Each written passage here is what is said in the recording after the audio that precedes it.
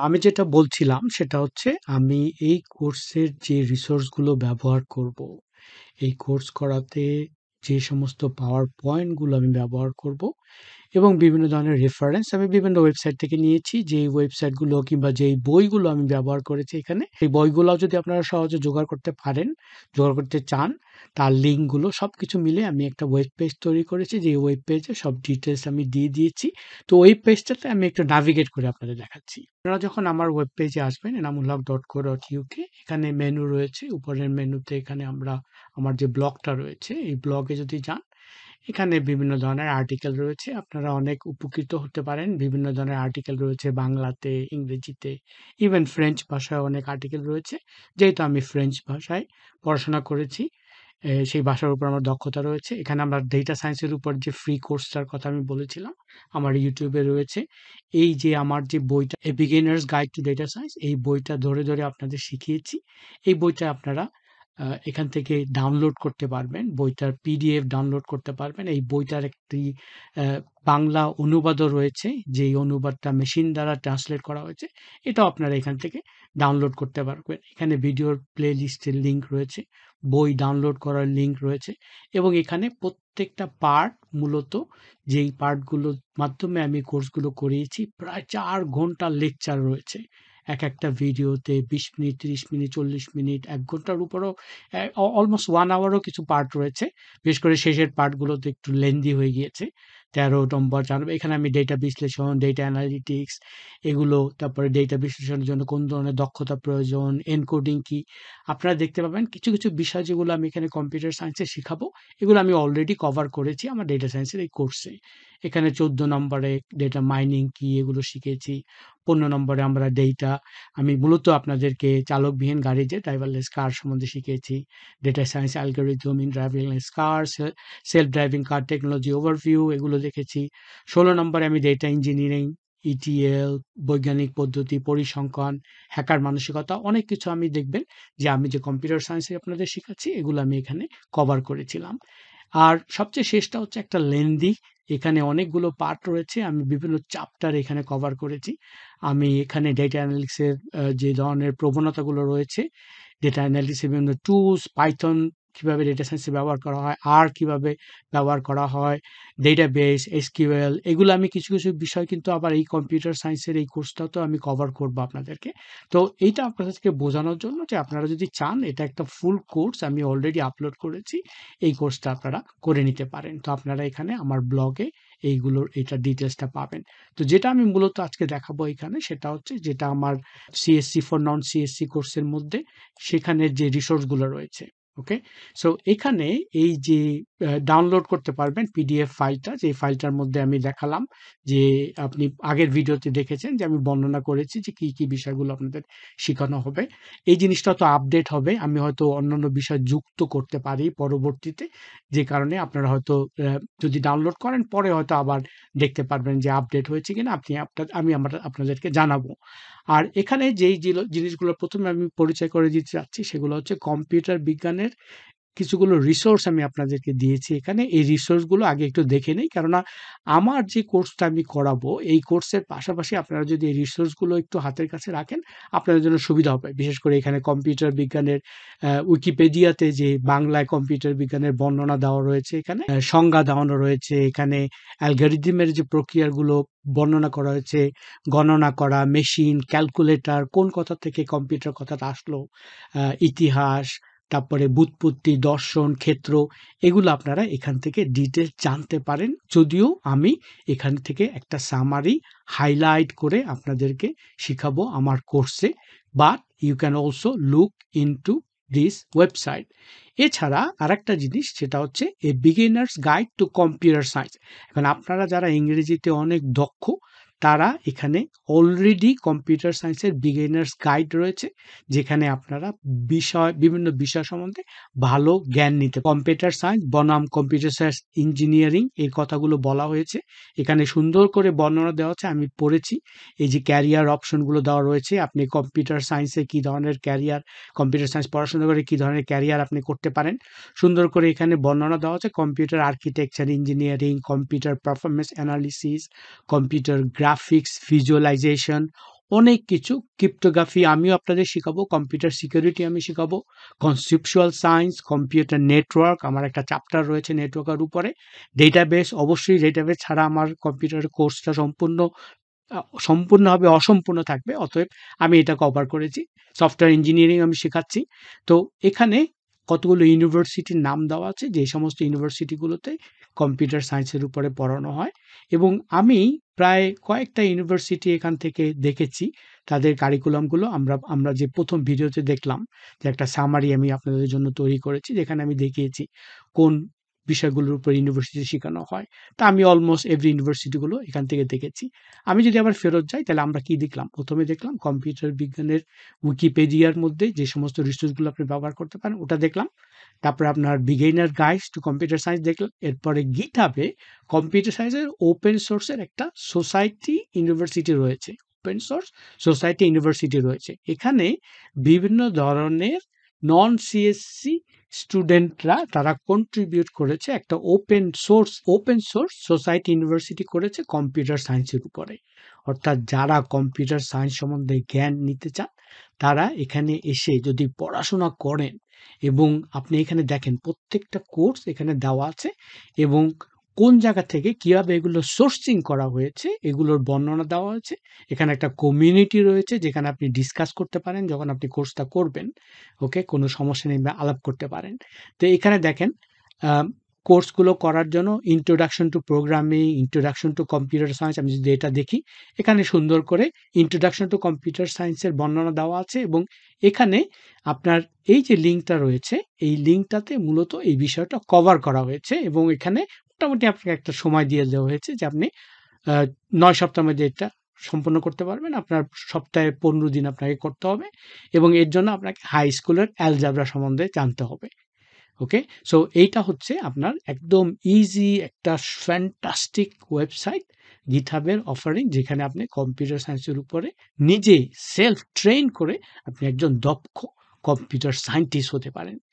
আমি যদি এখন এখানে যাই যে introduction to computer science okay ওরা বলেছে যে এই কোর্সটা এখানে রয়েছে। আমি যদি কোর্সে যাই, তাহলে আমি দেখব যে এখানে রয়েছে যে লিঙ্কটা রয়েছে, এই লিঙ্কগুলো আপনাকে নিয়ে যাবে বিভিন্ন নাম করা ইউনিভার্সিটির ওয়েবসাইটে যেখানে আপনি ইনরোল করতে পারবেন।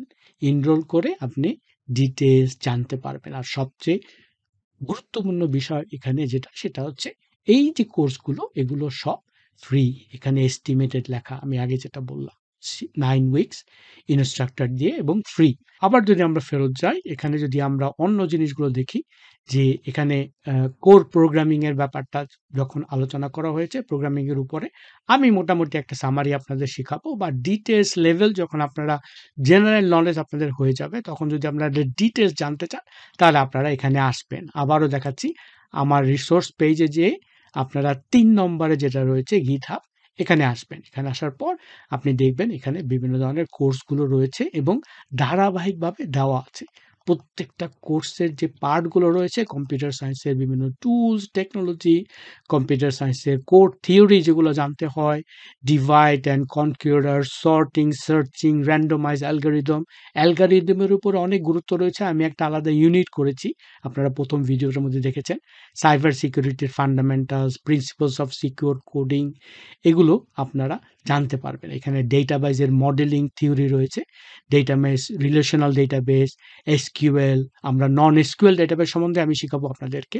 এবং এই যে এখানে এথিকগুলো রয়েছে এথিক টেকনোলজি ইঞ্জিনিয়ারিং তারপরে advance computer science parallel programming compiler compiler সম্বন্ধে আমিও বলব, এগুলো সম্বন্ধে আমিও কিছু জ্ঞান ইত্যাদি জ্ঞান দিব আপনাদেরকে okay so all in all আমি মনে করি যদি আপনি সেলফ ইনস্ট্রাকশন সেলফ সাফিসিয়েন্ট হন নিজে নিজে স্বতন্ত্রভাবে কম্পিউটার সায়েন্স সম্বন্ধে ভালো কিছু শিখে নিজেকে দক্ষশীল করতে চান, তাহলে আপনারা এখানে আসতে পারেন। এসে এই কোর্সটা আপনি সম্পূর্ণ ফ্রি এবং ওয়ার্ল্ডস বেস্ট রিসোর্স আমি বলব, যেগুলো এখানে রয়েছে। তারপর আমি যদি আমার পেজে ফেরত যাই, আমি আর একটা লিঙ্ক এখানে দেখেছি how to learn computer science এটা এখানে এটা massive step by step guide step by step guide so step by step guide in a sense যে এখানে আপনি বিভিন্নভাবে পদে পদে হামাগুড়ি দিয়ে কীভাবে আপনি কম্পিউটার সায়েন্স শিখতে পারেন হ্যাঁ? এইখানে সুন্দর করে সেগুলো বর্ণনা দেওয়া আছে। এখানে কোডার, প্রোগ্রামার, সায়েন্টিস্ট প্রত্যেকটা কীভাবে আপনি কোন স্টেপ থেকে কীভাবে আগাবেন। সো আমি কম্পিউটার সায়েন্স নিয়ে বলব আমি কম্পিউটার সায়েন্টিস্ট, কম্পিউটার কনজিউমারের ডিফারেন্সগুলো আমি বুঝাবো। আমি কিছু বইও ব্যবহার করেছি। প্রোগ্রামিং এর ব্যাপারে এখানে বলা হয়েছে। প্রোগ্রামিংয়ের হিতাহিত জ্ঞান দেওয়া হচ্ছে এবং এখানে সুন্দর কতগুলো ভিডিও রয়েছে। অবশ্যই এগুলোতে আপনাদের ইংরেজিতে পারদর্শী হতে হবে। তারপরে সবচেয়ে শেষে আমি যে লিঙ্কটা দিয়েছি সেটা হচ্ছে teach yourself computer science fundamentals. নিজেকে আপনি নিজে কম্পিউটার সায়েন্সের সাধারণ জ্ঞানে জ্ঞানী করুন। এটা যদি আমি বাংলা তর্জমা করি তাহলে এখানে দেখেন learn computer science, teach yourself computer science fundamental so এখানে অনেক সুন্দরভাবে কম্পিউটার সায়েন্সের বর্ণনা দেওয়া আছে। এখানে fields in computer science, data structure, software engineering, algorithm, statistics. Statistics আমি কভার করব। আর এইগুলো তো দেখেই দে দে দেখেছেন আমার ইউনিটগুলোতে রয়েছে। ডেটা স্ট্রাকচার, সফটওয়্যার ইঞ্জিনিয়ারিং রয়েছে। প্রোগ্রামিং ল্যাঙ্গুয়েজ নিয়ে আমি কথা বলেছি। আমার কোর্সে এটার এটারও অন্তর্ভুক্ত রয়েছে। কম্পিউটার হার্ডওয়্যার, আমি আর্কিটেকচার নিয়ে কথা বলব আমি হার্ডওয়্যারের প্রত্যেকটা পার্ট টু পার্ট আপনাদের শেখাবো এবং কম্পিউটার ডিজাইন আর্কিটেকচার, ম্যাথমেটিক্সের উপরে পার্টিকুলার হাই লেভেল কিছু জিনিস আমি আপনাদের শেখাবো তো এখানে ডিটেইলস বর্ণনা রয়েছে এবং ওরা কিছু ওয়েবসাইটেরও অ্যাড্রেস দিয়েছে। এখান থেকে আপনি কম্পিউটার সায়েন্সের বিভিন্ন ফিল্ড অফ স্টাডিসে বিভিন্ন ধরনের নোটিফিকেশন এবং বিভিন্ন ধরনের রেফারেন্স আপনি পেতে পারেন। এখানে দেখেন computer science, theoretical computer science, theory, algorithm, data structure, discrete mathematics এর কথা আমি বলেছি। Theory of computing, programming theory, object oriented programming, digital electronics, Boolean algebra, logic gates এগুলো আমিও শিখাবো আপনাদেরকে। তো all in all I think this is a brilliant website. Other than that এখানে অপারেটিং সিস্টেম আমি শিখাবো। ডিভাইস, ড্রাইভার্স আমি শিখাবো। সিস্টেম ইউটিলিটি, কম্পাইলার আমি শিখাবো বলেছি। AI, pattern recognition, data mining. আমার ডেটা সায়েন্সের যে ট্রেনিং রয়েছে ওখানে ডেটা মাইনিং সম্বন্ধে বড় একটা ভিডিও রয়েছে। সুন্দর করে বোঝানো আছে। তারপরে আমি এগুলো কভার করব। অ্যাপ্লিকেশন ডেভেলপমেন্ট যেগুলো এখানে রয়েছে। আমি কিছু, কিছু জিনিস আপনাদের শিখাবো। বেসিক যেহেতু আমি নন সিএসসিদের জন্য ওই জিনিসটা আমি সবসময় মাথায় আমরা সামারি করি। সামারি করলে দেখব যে আমরা মূলত ছয়টা ইউনিটে এই সিএসসি ফর নন সিএসসি কোর্সটা শেষ করব। ১ম ইউনিটে আমরা দেখব কম্পিউটার সায়েন্স ফাউন্ডেশন, ফান্ডামেন্টালস। তারপরে আমরা ডেটা বিশ্লেষণ, তারপরে software engineering, algorithm programming, universal programming নীতি যেটা এবং ডিজিটাল সাক্ষরতা। আশা করি এই দুইটি ভিডিওর মধ্য দিয়ে আপনাদের একটা হিতাহিত জ্ঞান হয়ে গেল যে আমরা কীভাবে এই কোর্সটাতে জন্য এই কোর্সের জন্য পড়াশোনা করব, কীভাবে আমরা লার্ন করব, কীভাবে সব কিছু আমরা শিখব, কীভাবে আপনাদেরকে এই কোর্সগুলো ফলো করতে হবে। আমি যেটা দেখাচ্ছি সেটা হচ্ছে আমি যেই বইগুলো আমি ব্যবহার করেছি এই কোর্সের জন্য। এই কোর্সের জন্য সবচেয়ে বড় যে বইটার সাহায্য আমি নিয়েছি, যেখান থেকে অনেক স্ক্রিনশট আমি ব্যবহার করেছি, তার নাম হচ্ছে 'everything you need to ace computer science and coding in one big fat notebook'. এই বইটি গ্র্যান্ট স্মিথ লিখেছেন। এটি আপনি অনলাইনে সংগ্রহ করতে পারেন। আমি আমার পরবর্তীতে আমার ওই রিসোর্স পেজটাতে আমি এটা লিঙ্ক দিব। আপনি যদি কিনতে চান বইটি। আরেকটি বই আমি ব্যবহার করেছি, সেটা হচ্ছে 'help your kids with computer science'. এখানে কিডস কথাটা শুনে আপনারা মনে কথা, কষ্ট পাবেন না। কারণ এটা মূলত কিটস না। এটা মূলত এই কারণে আমি বইটা সাহায্য নিয়েছি কারণ এটা অনেক জিনিস সাদামাটা ভাষায় এখানে তুলে ধরা হয়েছে। ফলে আমাদের নন সিএসসি দের জন্য সহজ হবে, বোধগম্য হবে। এজন্য আমি এই বইটার ব্যবহার করেছি এখানে। এছাড়া আমার চারটি বই থেকে আমি বিভিন্ন ধরনের রেফারেন্স এনেছি। এর মধ্যে আমার 'the internet of things', 'artificial intelligence', 'cloud computing' এবং 'cloud service management and governance'. আবারও দেখাচ্ছি, এখানে ব্যবহার করার রিসোর্সগুলো পেতে আপনাদেরকে ভিডিও লিঙ্ক আমার YouTube link YouTube dot com forward slash C forward slash digital deep drive আপনি কারিকুলামটা ডাউনলোড করবেন আমার ওয়েবসাইট থেকে enamulhaq.co.uk তে যেয়ে আমার ব্লগের লিঙ্ক থেকে আপনারা সরাসরি দেখতে পাবেন। এখানে কম্পিউটার সায়েন্সের সিএসসি ফর নন সিএসসি রয়েছে। এখানে স্লাইড ডেকগুলো আমি যে স্লাইডগুলো ব্যবহার করব আমি আস্তে, আস্তে আপলোড করব। আপনাদের একটু ধৈর্য ধরতে হবে স্লাইডগুলো পাওয়ার জন্য। আপাতত আপনারা স্ক্রিন দেখে এগুলো শেখার চেষ্টা করেন। আমি অতি শীঘ্রই স্লাইডগুলো সব আপলোড করব। মূলত আমার ইউনিট ওয়ানটা শেখানো হওয়ার পর আমি স্লাইডগুলো আপলোড করব। তারপরে আপনি কম্পিউটার সায়েন্স স্টাডি রিসোর্সেস এবং যে ধরনের রিকমেন্ডেড লিঙ্কসগুলো আপনাদেরকে দিয়েছি। তাহলে আমরা পরবর্তী ভিডিওতে দেখব যে আমরা যে ফান্ডামেন্টাল কোর্সের ফাউন্ডেশন কোর্সের প্রথম, প্রথম ইউনিট ওয়ানের প্রথম পার্টটা আমরা দেখব।